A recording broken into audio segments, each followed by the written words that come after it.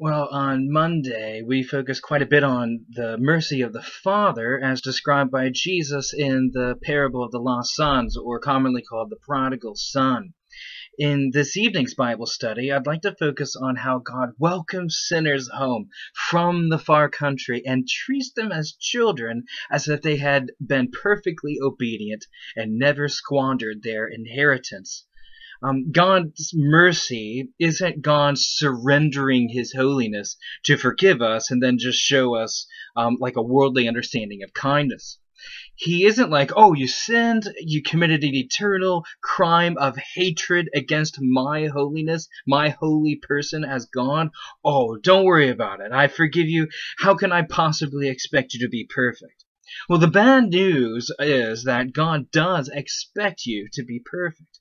Um, Jesus, in his famous Sermon on the Mount in Matthew 5, verses 17 through 20, he says this um, Do not think that I have come to abolish the law or the prophets. I have not come to abolish them, but to fulfill them. For truly I say to you, until heaven and earth pass away, not an iota, not a dot, not will pass from the law until all is accomplished. Therefore, whoever relaxes one of the least of these commandments and teaches others to do the same will be called least in the kingdom of heaven. But whoever does them and teaches them will be called great in the kingdom of heaven. For I tell you, unless your righteousness exceeds that of the scribes and the Pharisees, you will never enter the kingdom of heaven. Jesus didn't come to remove the law so God can say, don't worry about it. No, God expects perfection, perfection because God is perfect. As John says, God is light, and in him is no darkness.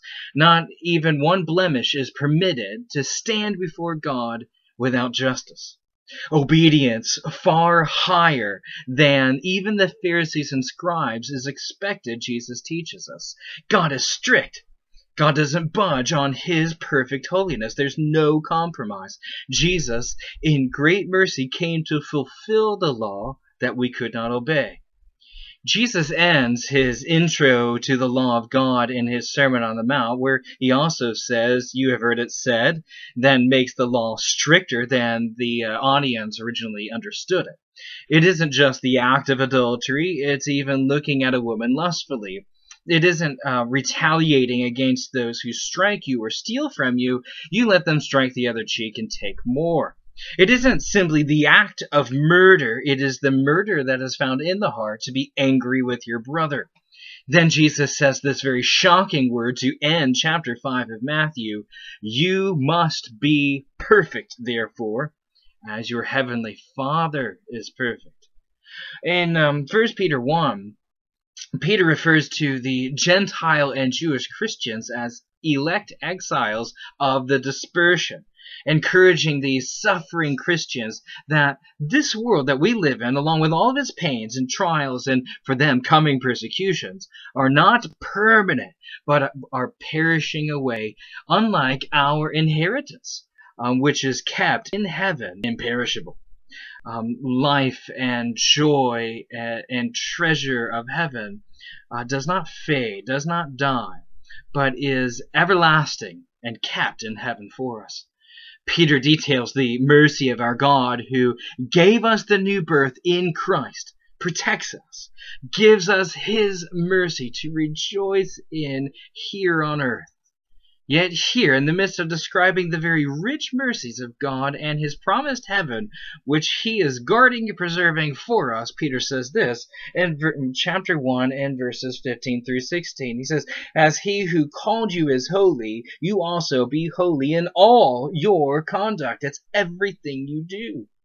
Since it is written, You shall be holy, for I am holy.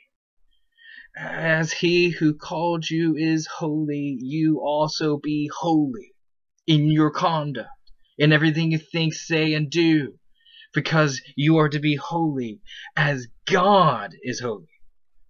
I've had several Christians, including those who would consider themselves very mature Christians, come and tell me that God never expects perfection and he would even be unfair to do so. Be holy, Peter says. Well, how holy? Well, then Peter pulls from the law, the Torah of God. As God is holy, you must have and behave in perfect righteousness of God, who and who through Jesus, who did not come to abolish the law, as he said. We're not even to teach to relax one of them. In Galatians 3, verses 10 through 11, Paul says this All who rely on the works of the law are under a curse. For it is written, Cursed be everyone who does not abide by all things written in the book of the law and do them. Now it is evident that no one is justified before God by the law, for the righteous shall live by faith. If you want to be right with God, you must adhere to God's law perfectly. Yet we are justified, that is, made perfectly right before God by faith alone, in Christ alone, says Paul. The just, that is, the righteous ones, shall live by faith and by faith alone. In Christ you are perfect. That is, you are justified by his blood to stand as perfect before God. Not, not by any of your works, but only Christ and his works. He is the righteousness of God to be received by faith alone. That is, by trusting in Christ and in his work. His righteousness is on your account. Peter even calls these Christians and all Christians a holy nation. Holy, as he is holy. We are a royal priesthood. All Christians, because of Christ's high priesthood, are priests to God. As a side note, it is interesting that within the Roman Catholic tradition, which considers Peter the first pope, um, Peter simply calls himself a fellow elder or a pastor, not a supreme pontiff not a bridge, but points to Christ as our only bridge to God. And he even has the audacity to claim that Christians, all of us, are priests, not having to go to priests. Christians, through Christ, enjoy a perfectly restored relationship with the Heavenly Father. Jesus makes his church perfect. He justifies you. He, the author and perfecter of our faith, is just and the justifier. He justifies you. And you, the just, the righteous, shall live by faith. You are not only justified, perfect before God, you are being made perfect. You shall be holy as God is holy. You will be. You are being made perfect over time. In biblical terms, you are being sanctified. In Philippians 2 12 through 13, Paul writes this Therefore, my beloved, as you have always obeyed, so now, not only as in my presence, but much more in my absence, work out your own salvation with fear and trembling, for it is God who works in you both to will and to work for his good pleasure. Um, to work out your salvation means to produce. Jesus saves you to bear much fruit, to produce good works. You have been saved unto good works, as Paul tells us in Ephesians 2. So work out your own salvation by God who's working in you, a salvation you not only have, but a salvation being worked in you. Paul says you are saved and you are being saved. You are justified, made perfect, and you are being sanctified.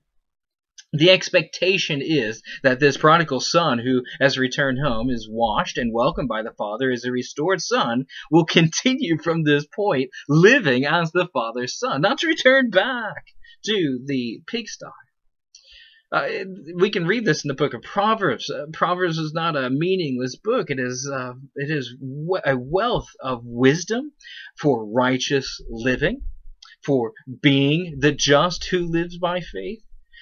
That is, uh, as Paul's language, we're putting off the old self, we're taking off the old clothes, and putting on continually the new self, putting on continually new clothes of God's righteousness.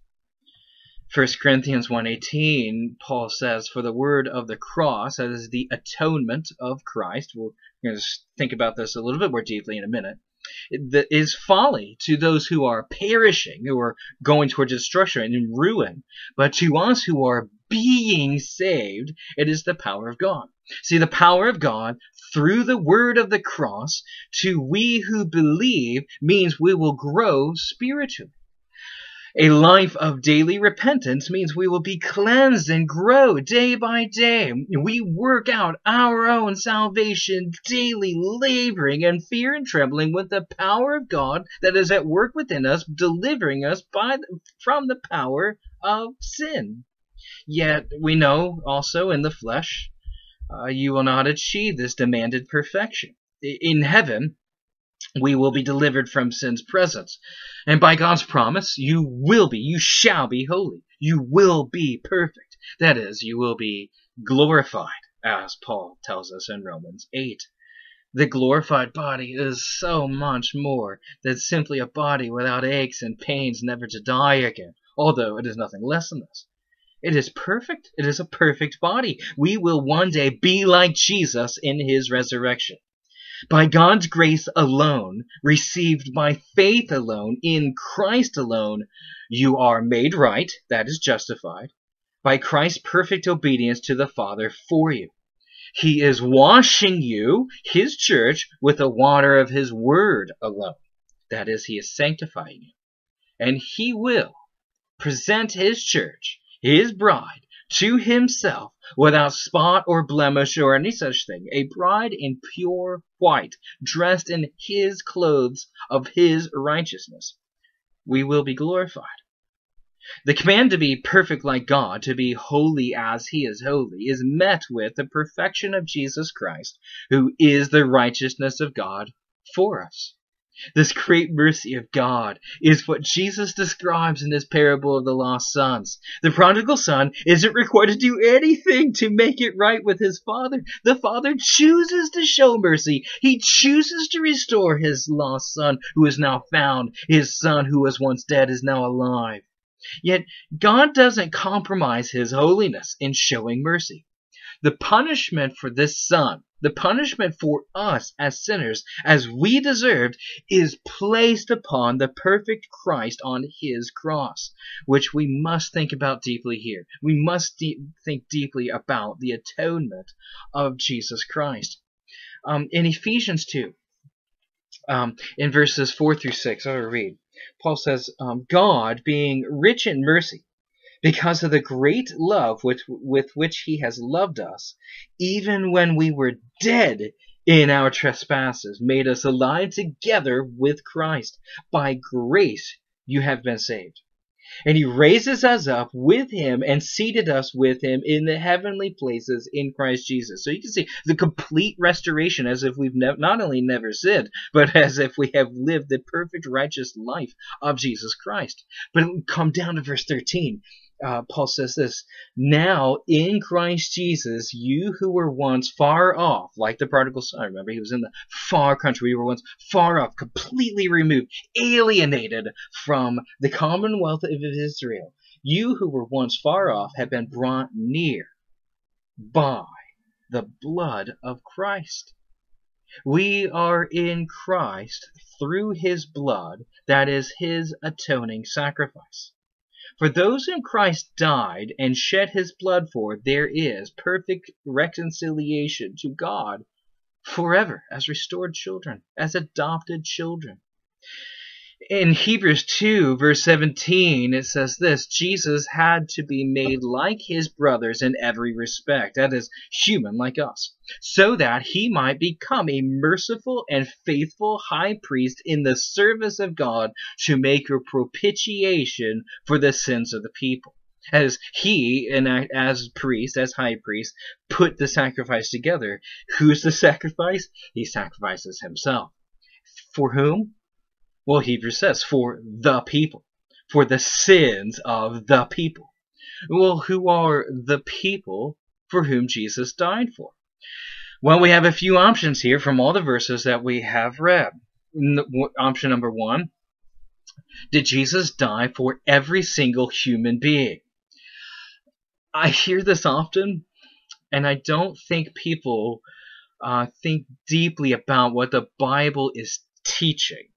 They have their own philosophical understandings. They're trying to mesh things together in their minds with philosophies they've been told, philosophy they want to hold on to, and they're trying to um, syncretize it to the teachings of Scripture. But let's think this through a little bit. If Jesus died for everybody, and if everybody for whom Jesus died for enjoys complete forgiveness, perfect reconciliation to God, never to be severed, and, and enjoy Christ's propitiation for the sins of the people, well, then everybody is saved. Uh, this is a term called universalism. And th- I think this is easily proven wrong with Scripture, since Paul talks about that the word of the cross, that is Jesus' atoning sacrifice, is foolishness to those who are perishing. Um, this is a real destruction by Christ's judgment. Jesus himself teaches about throwing those who reject him into an eternal lake of fire where there is weeping and gnashing of teeth. Jesus teaches about a wide path and a wide door that leads to destruction. So Jesus didn't die for everybody to be saved. That is easily disproved.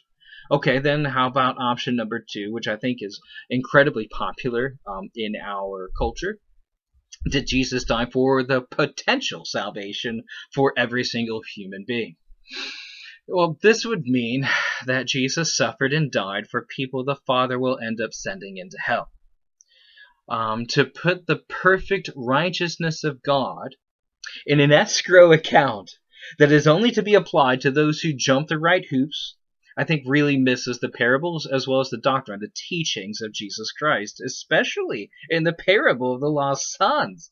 The older son would have had would have made a solid case against going into the celebration of his father um, receiving the younger son in, showing mercy when the prodigal son didn't realize the potential of the father's mercy. The father was just merciful on his own. There was no potential and there was no realization of the potential mercy of the father.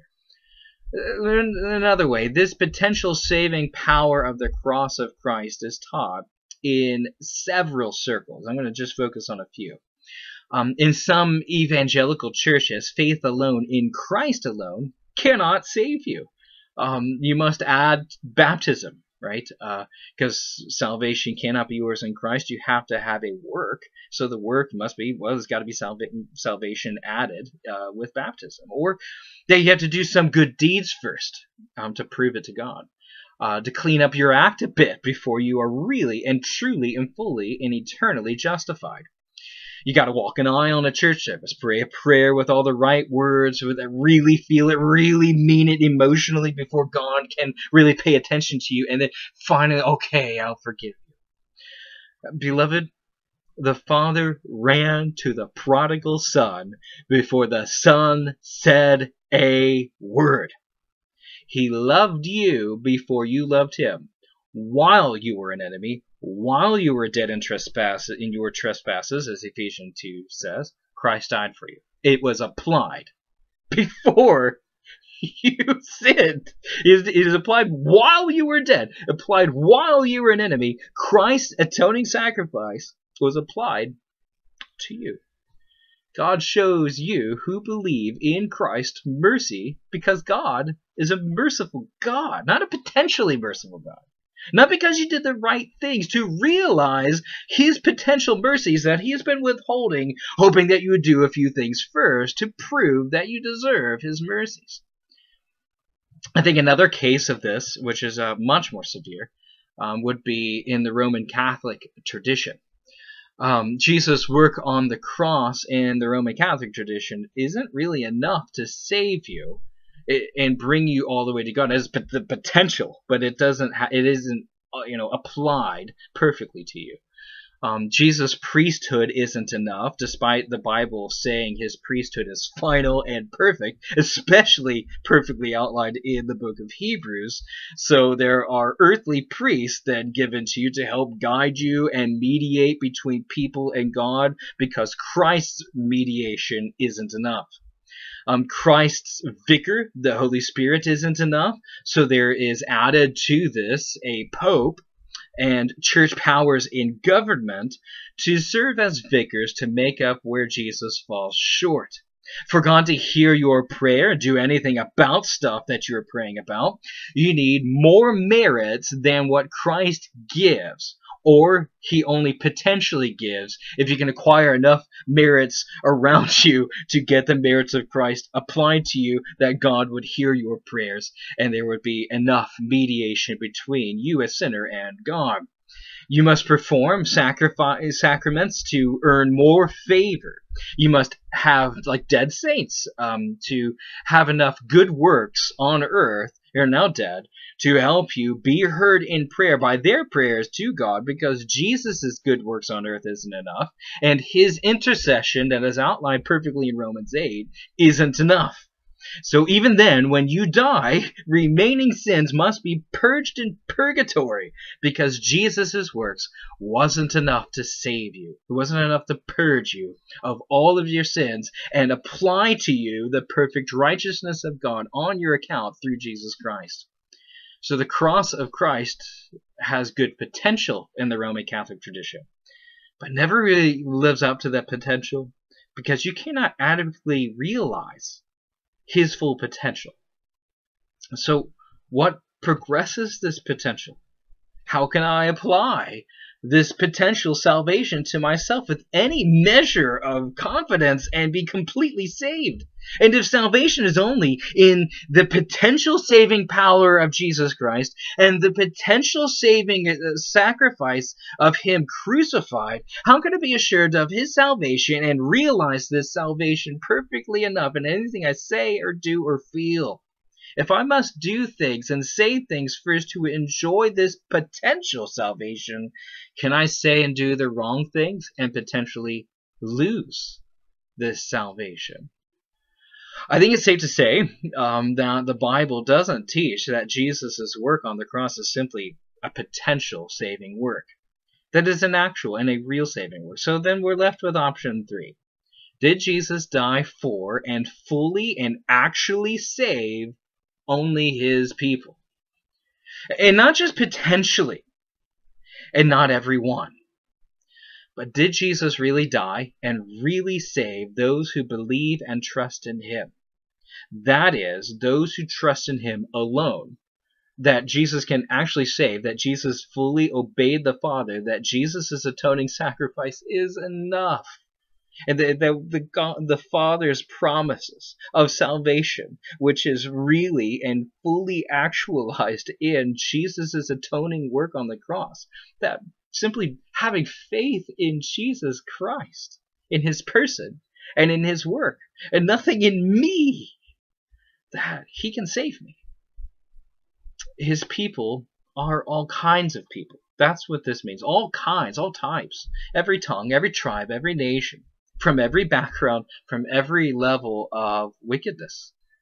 Jesus applies his righteousness, the perfect righteousness of God, by who he is and his work on the cross to really save his people, to really save those who put their trust in him.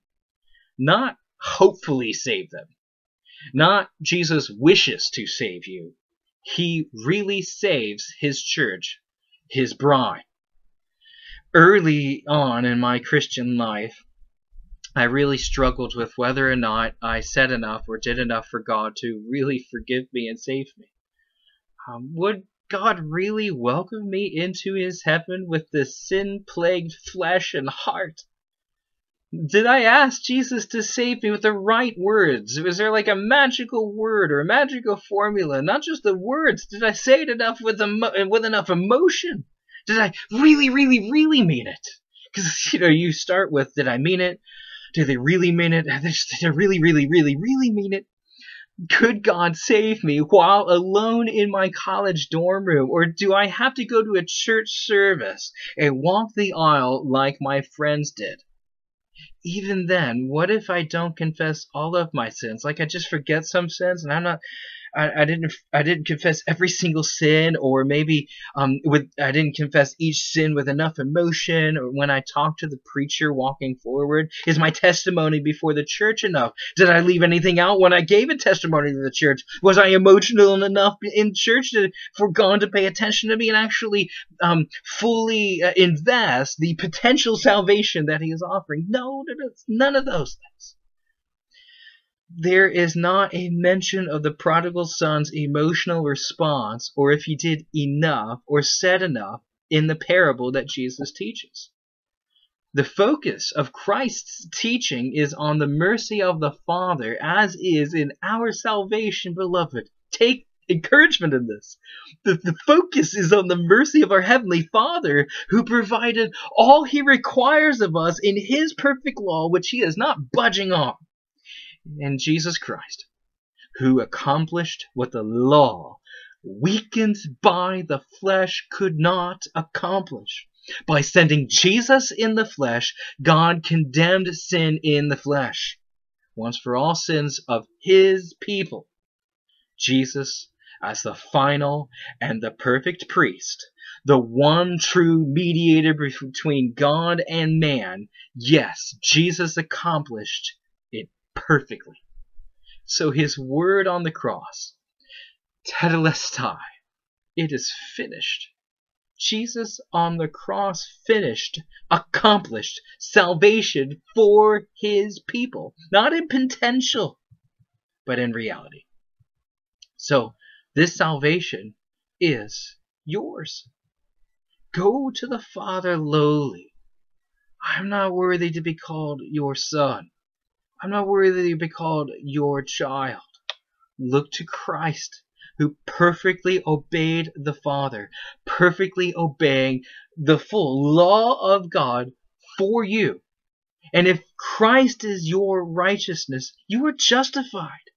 You don't have to go and say, well, I wonder if I have confessed this emotionally enough. I wonder if I confessed enough. I wonder if I've done enough. I wonder if I've gained the attention of God enough by what I'm saying and doing. I wonder if I just had the right words. Or can I just, with groaning too deep for words, beating my chest to say, have mercy on me, a sinner? Can God show mercy? Yes. If Christ is your righteousness, you are justified you are being washed. You are being sanctified. And you will be glorified. Hold on to the promise of the Father. Go to the Father of all comfort and all mercy through Jesus Christ. He is our guarantee of being right before God, that is justified, to be cleansed, sanctified, to grow spiritually. And in Christ, though we die, yet shall we live with him forever as we rejoice in the hope of the glory of God, and we will be glorified. I will end with this prayer in the prayer the Valley of Vision, a uh, compilation of the prayers of the Puritans, and this one's on assurance. And I think at the end of this lesson, this is something I need, and I, I'm I'm hoping that this encourages you. Almighty God, I am loved with everlasting love clothed in eternal righteousness, my peace flowing like a river, my comforts many and large, my joy and triumph unutterable, my soul lively with the knowledge of salvation, my sense of justification unclouded. I have scarce anything to pray for, Jesus smiles upon my soul as a ray of heaven, and my supplications are swallowed up in praise. How sweet is the glorious doctrine of election, when based upon thy word and wrought inwardly within the soul. I bless thee that thou wilt keep the sinner thou hast loved, and hast engaged that he will not forsake thee, else I will never get to heaven. I wrong the work of grace in my heart if I deny my new nature and my eternal life. If Jesus were not my righteousness and redemption, I would sink into the nethermost hell by my misdoings, shortcomings, unbelief, unlove. If Jesus were not, by the power of his Spirit, my sanctification, there is no sin I should not commit. Oh, when shall I have his mind? When shall I be conformed to his image? All the good things of life are less than nothing when compared with His love, and with one glimpse of thy electing favor. All the treasures of a million worlds could not make me richer, happier, more contented, for His unsearchable riches are mine. One moment of communion with Him, one view of His grace, is ineffable, inestimable. But, O God, I could not long after thy presence if I did not know the sweetness of it. And such I could not know except by thy Spirit in my heart, nor love thee at all unless thou didst elect me, call me, adopt me, save me. I bless thee for the covenant of grace. Oh, we bless the name of the Lord now and forever for he has shown us his everlasting grace and his steadfast and loyal love to us. May this be an encouragement and be blessed. God bless you all.